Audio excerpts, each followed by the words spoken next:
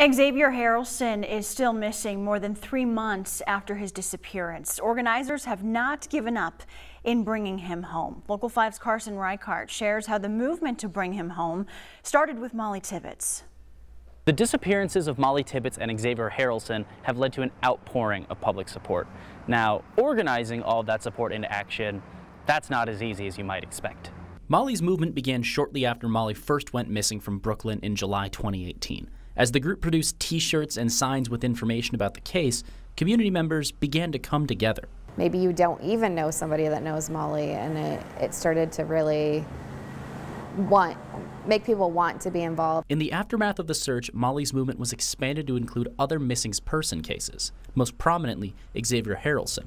The sheer volume of ways to see their faces is intentional. Maintaining public interest and awareness is central to the mission of Mollie's movement. Maybe it gets somebody talking that saw something. Um, people have to be reminded that even the smallest tip could be something that breaks the case and gets somebody home. Their current effort?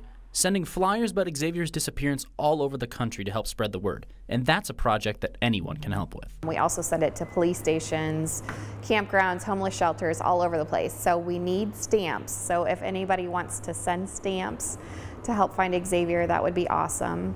If you've got stamps you're willing to donate, they can be sent to Mollie's Movement, P.O. Box 205, Brooklyn, Iowa 52211. In Grinnell, this is Carson J.S. Reichart for Local 5 News. We are Iowa. The reward fund for information leading to Xavior currently sits at nearly $36,000. Anyone with information is encouraged to contact the Poweshiek County Sheriff's Office.